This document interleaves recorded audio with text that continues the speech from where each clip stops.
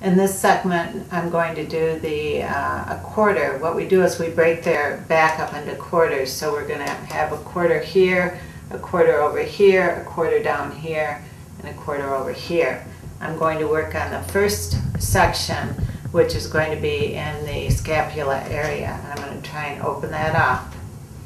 So I'm doing like four little movements a couple times right around this little scapula area. Then I'm gonna go up here on the shoulder and I'm gonna try and open that up. A lot of people carry a lot of tension right up here in the trapezius area. Okay, now I'm gonna go back down here and now I'm gonna do like nine little like pressure points on the side of her spine. So just, you can either do this with your thumb or if you want, you could use your elbow. Elbow gives a little more pressure. Which is better for you, Sarah?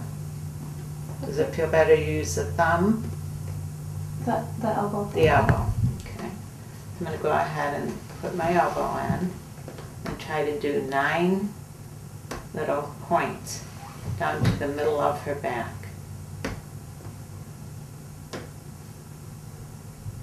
Pressure's okay? Mhm. Okay. I'm gonna go back up and do that one more time.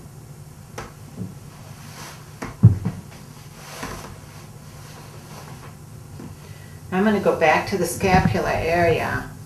I'm actually gonna do a pressure point around here. I'm gonna go about. Is that all right?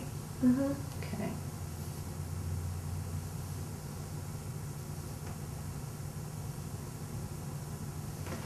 Okay, I'm back up on the trapezius. I'm actually gonna use a thumb again.